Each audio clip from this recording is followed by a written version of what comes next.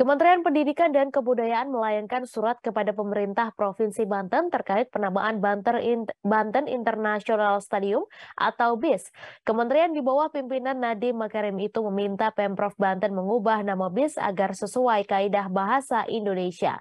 Sebelumnya, Ombudsman RI juga sempat mengkritik penamaan stadion menggunakan bahasa Inggris yang tidak sesuai dengan pasal 36 ayat 3 Undang-Undang Nomor 24 Tahun 2009 tentang bendera bahasa bangsa dan lambang negara serta lagu kebangsaan.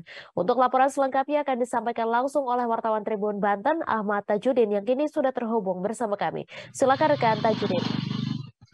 Baik eh, rekan Mei dan Tribuners, perlu diketahui bahwa Kementerian Pendidikan dan Kebudayaan Republik Indonesia telah melayangkan surat kepada Pemprov Banten untuk uh, mengenai penamaan Banten, Banten International Stadium, di mana uh, menurut informasi yang diterima Tribun Banten bahwa stadion yang berlokasi di Jalan Sera, Jalan Raya Serang Paneglang tersebut diminta agar diubah penamaannya yang tadinya Banten International Stadium agar dirubah dengan kaidah bahasa Indonesia.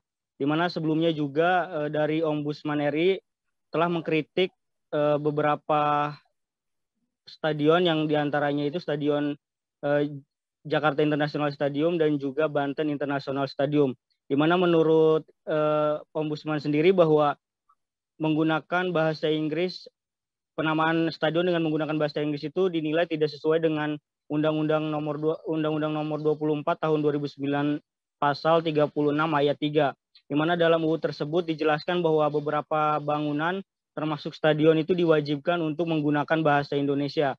Dan ketika Tribun Banten mencoba mengkonfirmasi hal itu kepada Dinas Perkim Provinsi Banten, Eh, M. Rahmat mengatakan bahwa dalam surat yang diterima oleh Pemprov Banten, Kemendikbud sendiri merekomendasikan agar penamaan Banten International Stadium atau BIS diubah dengan kaidah bahasa Indonesia.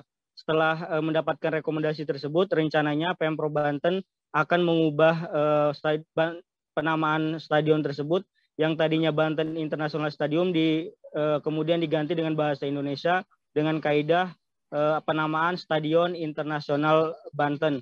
Dan di kesempatan itu juga uh, Tribun Banten mencoba mengkonfirmasikan hal itu ke PJ Gubernur Banten Al Muktabar, di mana uh, Al Muktabar juga mengatakan bahwa pihaknya telah merespon uh, atas surat tersebut dan rencananya Pemprov Banten juga akan uh, mencoba mencari uh, nama alternatif untuk penamaan bis sendiri. Dan sementara ini nama Internasional Stadium masih tetap digunakan.